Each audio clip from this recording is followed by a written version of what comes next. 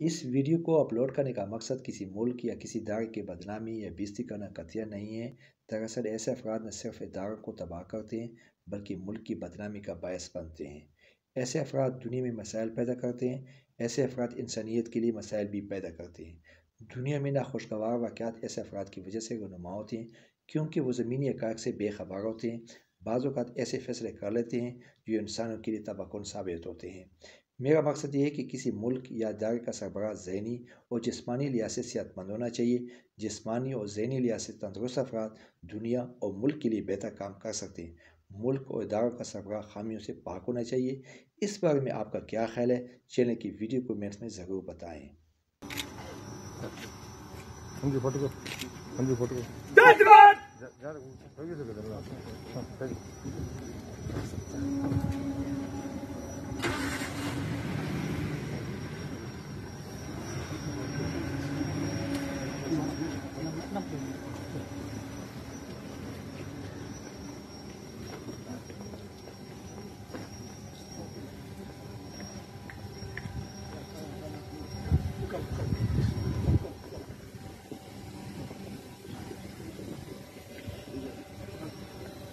Good God!